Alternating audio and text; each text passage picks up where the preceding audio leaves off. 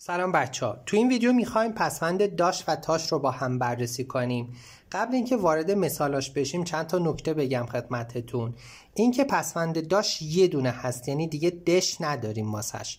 داش یه دونه هست که اگر آخرین حرف کلمه که می‌خوایم بهش داش اضافه کنیم چسب ته کفش یا فستک شهاب باشه دیگه به جای داش از تاش استفاده می‌کنیم. این نکته رو داشته باشین.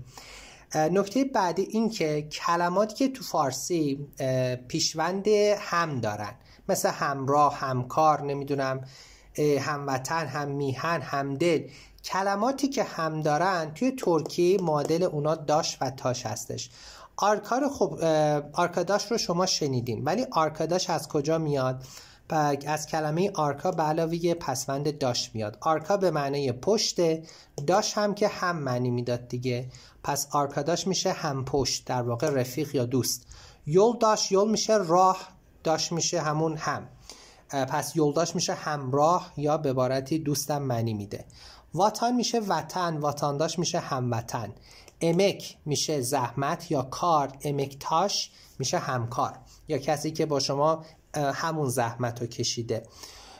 ülküdaş ülkü میشه آرمان. ülküdaş یعنی هم آرمان گنول میشه دل. گنولداش میشه همدل. مسلک میشه شغل کار و مسلک تاش میشه در واقع باز همکار. دنک میشه توازن. بس دنک تاش میشه هم ایار اینکه توازنش ایارش یکی باشه. و اینجا رو اگر دقت کنید امک چون جز فستکچه شهاب بود و مسلک هم همچنین اینا دیگه و همچنین دنگ اینا دیگه تاش شدن. به این نکته هم توجه کنید موفق باشین.